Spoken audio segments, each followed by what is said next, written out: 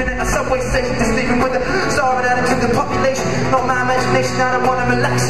With a your reputation, if I put it on wax, we'll take it back now. Ooh.